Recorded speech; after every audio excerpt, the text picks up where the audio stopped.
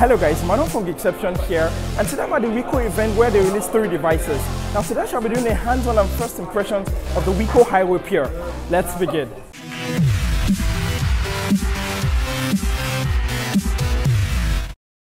And this is the Wiko Highway Pure. Now the first thing you guys must actually see is how crazy crazily thing that is. Now the first thing I'm going to be uh, doing is a quick hardware tour. Now if you look up front there, there's a 5 megapixel camera there.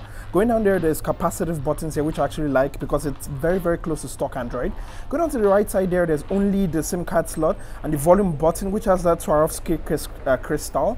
Going on to the left side, there's volume up and volume down buttons, which also has the Swarovski, uh, Swarovski, Swarovski crystal. Oh my god such tongue twisting name. Anyways, going on to the top there, you can find the microphone there. There's no headphone jack there. Going on to the bottom there, you can find 3.5 millimeter headphone jack, yeah, another microphone, and a micro USB port. And I actually, I have to commend Wiko for being able to like actually put the 3.5 millimeter headphone jack there because uh, when I reviewed the Oppo R1X, it had no uh, 3.5 millimeter headphone jack. Now going around back there, there's the 30 megapixel camera, there's a flash there, there's a Wiko logo there. Going down there, there's only a speaker, which I'm betting is a mono speaker. And that's basically it for a quick hardware tour. Now, looking at the phone, it feels really, really light. Actually, it's 93 grams. It's not even up to 100 grams.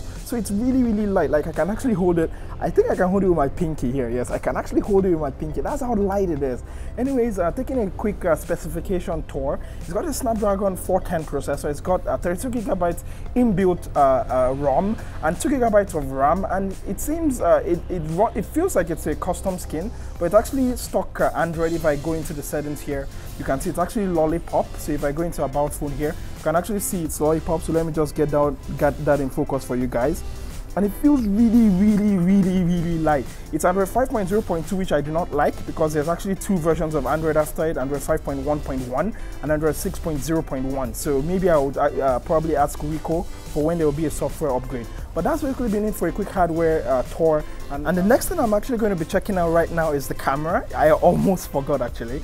So I'm going to be opening up the camera there. And uh, as you guys can see, the first thing is the selfie uh, mode here. I'm just going to take a photo there. The shutter speed, the shutter lag, uh, there's actually not that much. So let me just try spamming, spamming, spamming, spamming, spamming. As you guys can see, it's pretty fast. I would take a photo of the back there, but it's just like a chair but I guess I'm still going to take it anyway. And examining the shots, let me just zoom in there. You guys, you guys can see there is actually lots of preservation of detail. Uh, let me just give it a minute there. Even going on to the selfie there, yes, you guys should trademark that face. Anyways, that's basically been it for the camera test of the uh, Wiko Highway Pure. And uh, first impressions, I would say it feels really, really light. For the price point, it's really, really nice as well because uh, the direct competitor to this here in the market here is the Oppo R1X and it comes in at a higher price point. So I really, really like it.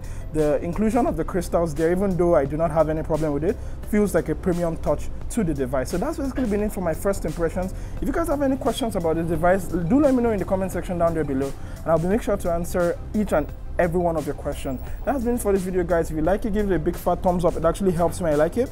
Thumbs up if there's anything you do not like in this video and do let me know in the comments down there below. And don't forget to subscribe so you do not miss future amazing, wonderful videos. I shall catch you guys next time. Don't forget to be awesome. Bye.